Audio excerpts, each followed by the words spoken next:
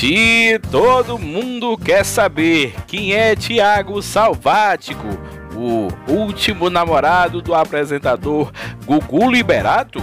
Ele esteve no velório do apresentador junto da família. Fala galera, Tiago Salvático foi dormir na última noite anônimo, depois se tornou um dos nomes mais conhecidos do Brasil.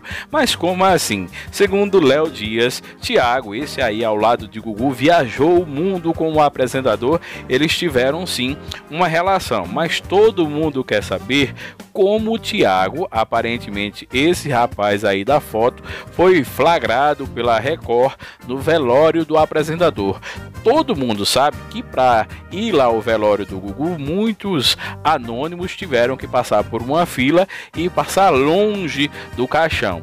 Já esse rapaz, o Tiago Salvático, saiu da Alemanha, veio para o Brasil, ficou lá junto da família do apresentador, junto dos famosos. Será que a família não sabia de nada? Será que Rose Miriam não sabia de nada?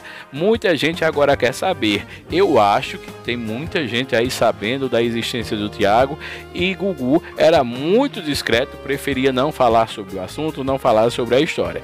Como é que o cara sai da Alemanha para vir a um velório no Brasil e fica lá juntinho da família sem que ninguém soubesse da existência dele? Será mesmo? Eu estou começando a suspeitar dessa história que até gente da família do Gugu sabia do Tiago. Bom, Léo Dias disse que ligou para ele, tentou falar com ele várias vezes, mas que de fonte segura, Tiago viajou o mundo ao lado do Gugu e eles tinham sim um carinho pelo outro.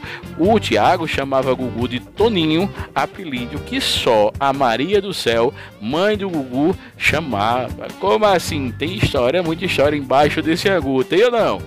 Bloco Social.